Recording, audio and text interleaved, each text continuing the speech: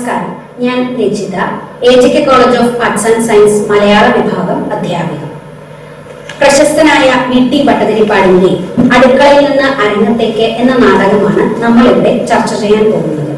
V T Bhattathiripad വെള്ളത്തിരുത്തി താഴത്ത് രാമൻ ഭട്ടതിരിപ്പാട് അദ്ദേഹം കേരളത്തിൽ ബ്രാഹ്മണ മേധാവിത്വത്തിനെതിരെ പോരാടിയ വീരനായകന്മാരിൽ ഒരാളാണ്. അദ്ദേഹത്തിന്റെ പിതാവ് തുപ്പൻ ഭട്ടതിരിപ്പാട് മാതാവ് ശ്രീദേവി അന്തർജനം. അഞ്ചാം ഫോറത്തിൽ പരീക്ഷയ്ക്ക് ഇരിക്കുന്നതിന് മുൻപ് തന്നെ അദ്ദേഹം വിദ്യാർത്ഥി എന്ന പേരിൽ ഒരു മാസിക കല്ലച്ചിൽ അടിച്ചിറക്കി. പിന്നീട് കേരളത്തിൽ സാമൂഹ്യ നവോത്ഥാന പ്രസ്ഥാനങ്ങളുടെ ഭാഗമായി പ്രവർത്തിക്കുകയും ചെയ്തു. അദ്ദേഹത്തിന്റെ പ്രധാന കൃതികൾ കണ്ണീരും കിനാവും കർമ്മവിഭാഗം പോംവഴി എന്റെ മണ്ണ് തുടങ്ങിയവയാണ്. അടുക്കളയിൽ നിന്ന് അരങ്ങത്തേക്ക് എന്ന നാടകം. വീട്ടിയുടെ അടുക്കളയിൽ നിന്ന് അരങ്ങത്തേക്ക് എന്ന നാടകം കേരളത്തിന്റെ സാമൂഹ്യ പശ്ചാത്തലത്തിൽ ഒരുപാട് മാറ്റങ്ങൾ സൃഷ്ടിച്ച ഒരു കൃതിയാണ്. നമ്മുടെ സാമൂഹ്യ പശ്ചാത്തലം പരിശോധിക്കുകയാണെങ്കിൽ നമ്പൂതിരിമാർ നമ്പൂതിരിമാരാണ് കേരളത്തിന്റെ ജാതി വ്യവസ്ഥയിൽ ഉന്നത സ്ഥാനത്ത് വർദ്ധിച്ചിരുന്നത് ഈ നമ്പൂതിരിമാർ അവർ തന്നെ സൃഷ്ടിച്ച ഒരുപാട് അനാചാരങ്ങൾ ബാക്കി വെച്ചിരുന്നു. ഈ അനാചാരങ്ങളുടെ ഭാഗമായിക്കൊണ്ട് അന്നത്തെ നമ്പൂതിരിമാർ അതുപോലെ അന്തർജനങ്ങൾക്കും ഒരുപാട് അസ്വാതന്ത്ര്യം അനുഭവിക്കേണ്ടി വന്നിരുന്നു. വീട്ടിൽ സാഹിത്യരചന നടത്തുന്നത് ഈ ഒരു കാലഘട്ടത്തിലാണ്. അടുക്കളയിൽ നിന്ന് അരങ്ങത്തേക്കെന്ന അദ്ദേഹത്തിന്റെ നാടകം പരിശോധിക്കുകയാണെങ്കിൽ ആ കാലഘട്ടത്തിൽ അന്തർജനങ്ങളുടെ അന്തസംഘർഷങ്ങളുടെ സാഹിത്യ ആവിഷ്കാരമാണ് നമുക്ക് ഈ രചനയിൽ കാണാൻ കഴിയുന്നത്. അന്നത്തെ സാമൂഹ്യ പശ്ചാത്തലം ഇങ്ങനെയായിരുന്നു. ഇല്ലത്ത് മൂത്ത നമ്പൂതിരിക്ക് മാത്രമേ വിവാഹം ചെയ്യാൻ അനുമതി ഉണ്ടായിരുന്നുള്ളൂ. അയാൾക്ക് താഴെയുള്ള ഇളയ നമ്പൂതിരിമാർക്ക് വിവാഹം അനുവദിച്ചിരുന്നില്ല. അവർക്ക് സംബന്ധം മാത്രമാണ് അനുവദനീയമായിരുന്നത്. ഈ രീതിയിൽ നമ്പൂതിരി സമുദായത്തിലെ ഒട്ടേറെ അനാചാരങ്ങൾക്കെതിരെ വീട്ടി കൊടുത്തുവിട്ട ഒരു ബോംബാണ് ഈ നാടകം എന്ന് കേളപ്പൻ അഭിപ്രായപ്പെട്ടിട്ടുണ്ട്. അത്തരത്തിൽ അന്തർജനങ്ങളുടെ സ്വാതന്ത്ര്യ പ്രഖ്യാപനമാണ് വിട്ടിയുടെ ഈ നാടകം. ആയിരത്തി തൊള്ളായിരത്തി ഇരുപത്തി ഒമ്പത് ഡിസംബർ ഇരുപത്തിനാലിന് യോഗക്ഷേമ സഭയുടെ ഇരുപത്തിരണ്ടാം വാർഷിക സമ്മേളനത്തിലാണ് ഈ നാടകം ആദ്യമായി അവതരിപ്പിക്കുന്നത്. നാടകത്തിന്റെ കഥ ഇങ്ങനെയാണ്. നാല് പ്രാവശ്യം പേലി കഴിച്ച അറുപത് വയസ്സ് കഴിഞ്ഞ കർക്കടാങ്കുന്നത്ത് നമ്പൂതിരി. അദ്ദേഹം വിളയൂരില്ലത്തെ അപ്പൻ നമ്പൂതിരിയുടെ ഒരേ ഒരു മകൾ തേദിയെ വിവാഹം കഴിക്കാൻ തീരുമാനിക്കുകയാണ്. തേതിക്കാണെങ്കിൽ പ്രായം വളരെ കുറവ്. തേദിയുടെ ബാല്യകാല സുഹൃത്തായ മധുരമംഗലം മാധവൻ തേദിയുടെ സഹോദരനായ കുഞ്ചുവിന്റെ ആത്മസുഹൃത്താണ്. അപ്പോൾ തന്റെ ബാല്യകാല കൂട്ടുകാരനായ മാധവനോട് തേദി തേതിക്ക് ഉള്ളിൽ സ്നേഹമായിരുന്നു. പക്ഷെ തന്റെ വിവാഹം കർക്കടാകുന്നത്ത് നമ്പൂതിരിയുമായി തീരുമാനിച്ചത് അറിഞ്ഞിട്ടും തന്റെ വിധി ഇതായിരിക്കും എന്ന് അവൾ ഉള്ളിൽ ആശ്വസിച്ചുകൊണ്ട് കഴിയുകയാണ്. എന്നാൽ ദേവിയുടെ സഹോദരൻ കുഞ്ചു തന്റെ സഹോദരിയുടെ മനസ്സ് മനസ്സിലാക്കുകയും വേറെ ഒരു നിവർത്തിയും ഇല്ലാത്തത് കൊണ്ട് കോടതിയിൽ തന്നെ ചെന്ന് ഒരു പരാതി പരാതി കൊടുത്തുകൊണ്ട് ഇഞ്ചക്ഷൻ വാങ്ങി വിവാഹ പന്തലിൽ വെച്ച് തന്നെ ആ വിവാഹം മുടക്കുകയാണ്. അങ്ങനെ അതിനുശേഷം മാധവനെ വിവരം അറിയിക്കുകയും മാധവൻ ആ, മദ്രാശിയിൽ നിന്നും സ്ഥലത്തേക്ക് വിളയൂരില്ലത്തേക്ക് വന്ന് തേദിയെ വിവാഹം കഴിക്കുകയും ചെയ്തു. ഇങ്ങനെ വളരെ സന്തോഷ പര്യവസായിയായ ഒരു നാടകമാണ് നമ്മുടെ ഈ അടുക്കളയിൽ നിന്ന് അരങ്ങത്തേക്ക് എന്ന നാടകം. നാടകത്തിലെ രംഗങ്ങളിലൂടെ കടന്നു പോവുകയാണെങ്കിൽ ആദ്യത്തെ രംഗം. ഒന്നാം രംഗത്ത് നമ്മൾ കാണുന്നത് എല്ലാ നമ്പൂതിരി ഗ്രഹങ്ങളിലും നമ്മൾ കേൾക്കാറുള്ളത് പോലെ ഒരു വേദ അധ്യയന ക്ലാസ് ആണ് വേദ നടത്തുന്ന വേദം പഠിപ്പിക്കുന്ന ആളെ ഓദിക്കൽ എന്ന് വിളിക്കുന്നു.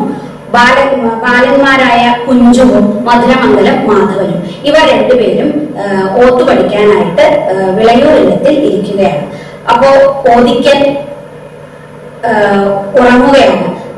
സമയം വൈകുന്നേരം. വൈകുന്നേരം ഓത്ത് പഠിപ്പിച്ച് അവർക്ക് ചൊല്ലിക്കൊടുത്തതിന് ശേഷം ഓതിക്കൽ വാതിൽപ്പടിയിൽ വാതിൽപ്പടിയെ പലകയാക്കി അവിടെ ഒരു തുണി വിരിച്ചുകൊണ്ട് അദ്ദേഹം കിടന്നുറങ്ങുകയാണ്.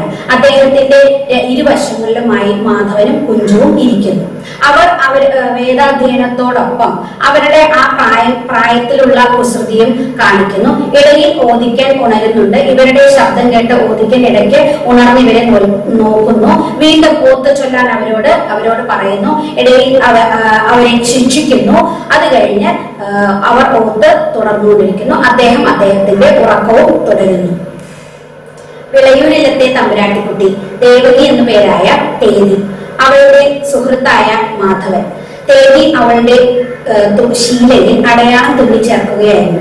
വിളയൂരിലത്തെ പടിഞ്ഞാറ്റുമുറി അവിടേക്ക് മാധവൻ കടന്നു വരികയാണ്. മാധവൻ വരുമ്പോൾ അവൾ കൃഷ്ണനെ കുറിച്ചുള്ള ഒരു പാട്ട് പാടിക്കൊണ്ടിരിക്കുകയായിരുന്നു.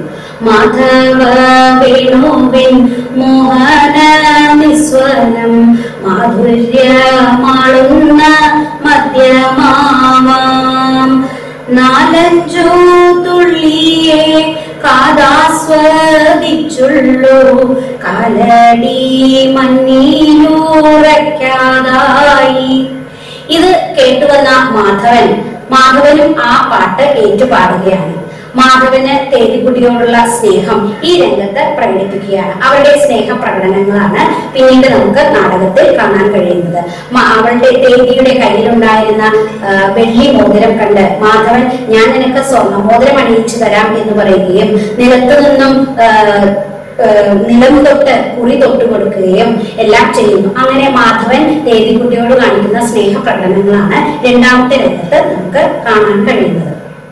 വിളയൂരില്ലത്തെ പടിഞ്ഞാറ്റുമുറി അവിടെ ഇന്ന് മധുരമംഗലം മാധവൻ ഉണ്ണിനമ്പൂതിരി എന്ന മാസിക വായിച്ചുകൊണ്ടിരിക്കുകയാണ്.